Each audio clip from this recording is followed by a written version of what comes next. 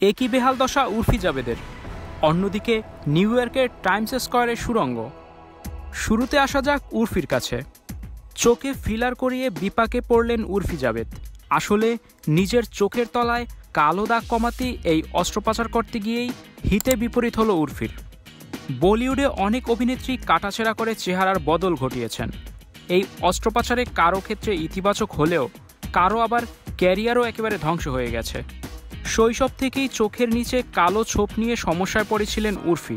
এজন্য এই ছোপের কারণে অতীতে কয়েকবার ট্রোলের মুখোমুখি হয়েছেন তিনি। সেই কারণেই শেষ পর্যন্ত উর্ফি বেছে নিয়েছিলেন অস্ত্রোপচার, তবে সুফল পেলেন না তিনি।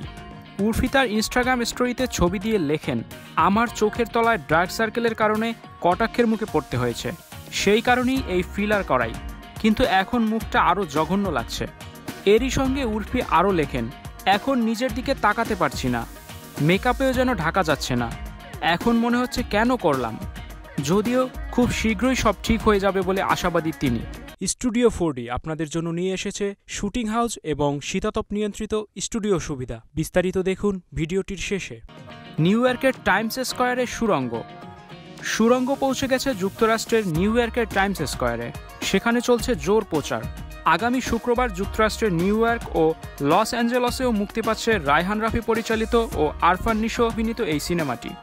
সেখানে সিনেমাটির পরিবেশনার দায়িত্বে আছে বায়োস্কোপ ফিল্মস। চলচ্চিত্র প্রচারের অংশ হিসেবে টাইমস স্কোয়ারের একটি জায়ান্ট স্ক্রিনে দেখানো হচ্ছে ট্রেলার। পৃথিবীর কেন্দ্রস্থল খ্যাত টাইমস স্কোয়ারে কোনো সিনেমা কিংবা গানের প্রচার মানে সেটি বৈশ্বিক দর্শকের কাছে পৌঁছে যাওয়া।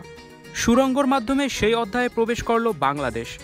মঙ্গলবার সন্ধ্যা থেকে রাত এগারোটা পর্যন্ত প্রতি ঘন্টায় চারবার করে সুরঙ্গর ট্রেলার দেখানো হয়েছে টাইমস স্কোয়ারের এই জায়ান্ট স্ক্রিনে।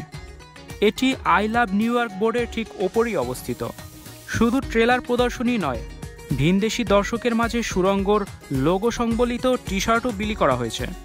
এর মাধ্যমে বাংলা সিনেমার আবেদন আন্তর্জাতিক পর্যায়ে ছড়িয়ে দেওয়ার চেষ্টা ত্বরান্বিত করছে পরিবেশনা সংস্থাটি।